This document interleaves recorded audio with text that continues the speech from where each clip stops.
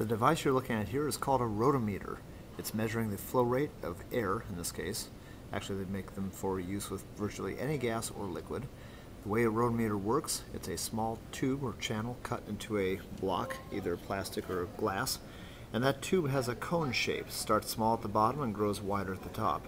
There's a small plummet inside that tube that's lifted up by the flow of fluid through it. Right now that plummet in this example is a small uh, BB-sized ball of metal. And as I open up this valve, you can see that rises up. Because the tube grows wider as it goes to the top, more fluid leaks by and it takes a greater flow rate to lift that plummet to a higher level. So right now I'm about the 50% mark, right here 60%, right here 80%, all the way up to 100. And this happens to be standard cubic feet of air. Uh, that's right there, 8 standard cubic feet uh, per hour of air. That's 5 standard cubic feet per hour of air, etc.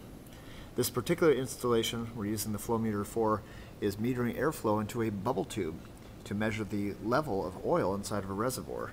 There's our oil reservoir right here. It's lubricating oil for our turbo compressor system and we have a bubble tube going into it, there's bubbling air through it.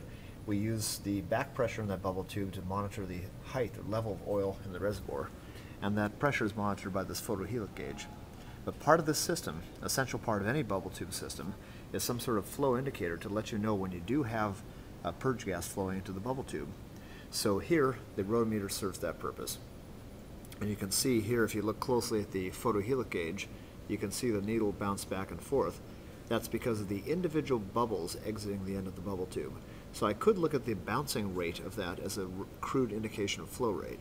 However, we do have the rotameter here that serves as a secondary indication uh, or primary if you rely on this more, and that's its purpose in this application.